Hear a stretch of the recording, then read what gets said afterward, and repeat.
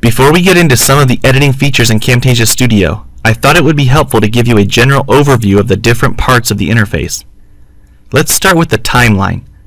This is where you assemble and edit your video.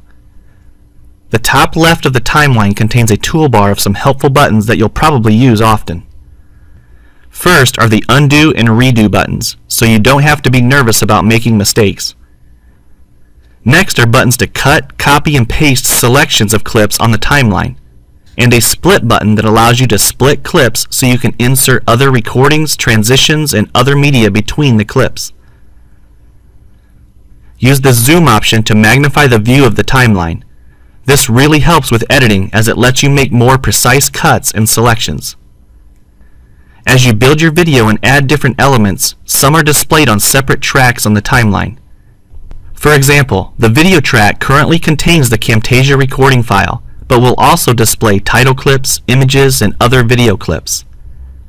The Audio 1 track contains the voice narration recorded during the screen recording, and the Zoom track present shows the Smart Focus keyframes that were automatically added.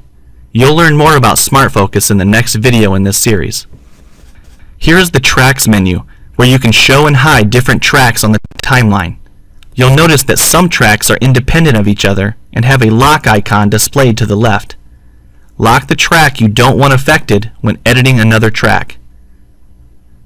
The playhead moves along the timeline and indicates the current frame displayed in the preview window above. One tip while working on the timeline is that depending on which track or area of the timeline you right-click on, a context menu appears with many shortcut options to speed up editing. Now let's check out the clip bin area. Along the bottom of this area are a set of tabs. The clip bin tab is selected and is kind of like the home tab for all of them. The clip bin holds all of the video, audio, and image files that are being used in the current project. Import new media to use in your project by clicking this button. Click and drag individual clips from the clip bin to the timeline to build your video. The next tab over is the library.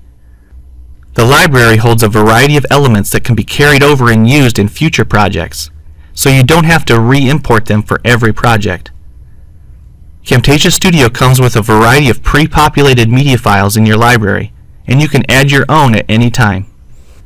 The rest of the tabs are for adding or editing special effects to your video. Expand the More button to view additional features to use.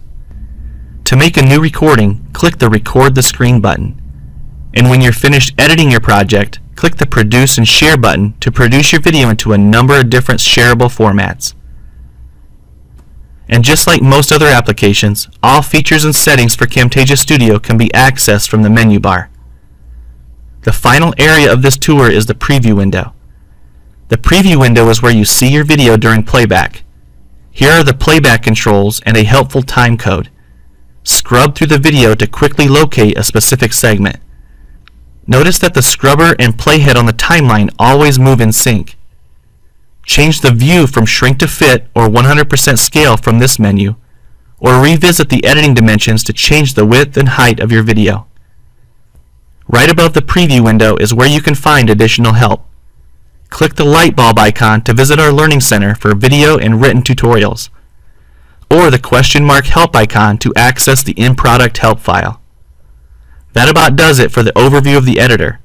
The next tutorial in this series will show you how to apply Smart Focus to your video to help viewers see the most important content on the screen.